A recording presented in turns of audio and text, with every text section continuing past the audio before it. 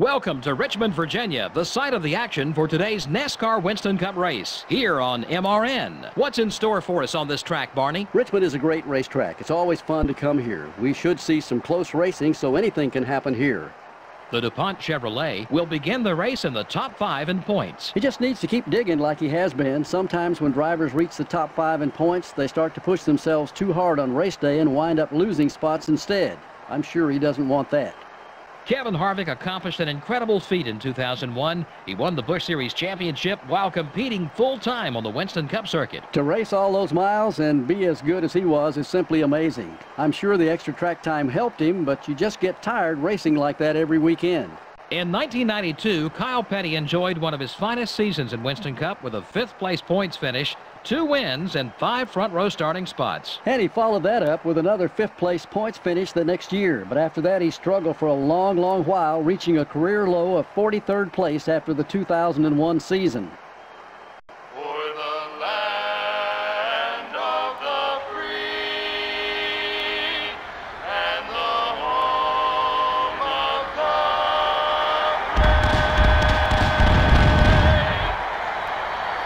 the Gentlemen, start your engines.